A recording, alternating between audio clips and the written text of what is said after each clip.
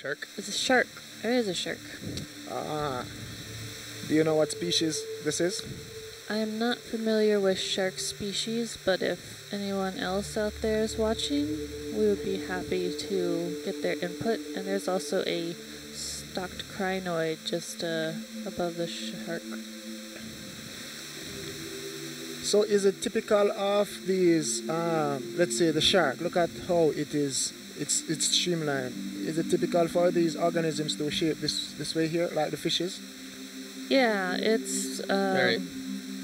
useful for a lot of marine animals to have a king, yep. streamlined body shape so that they can move through the water more efficiently and use up less energy in their forward motion. You'll also notice that this shark is swimming relatively slowly. A lot of deep sea animals spend a lot of their time moving slowly and often only have bursts of speed when they're doing something like escaping a predator or um, going in after a prey item that's already fairly close.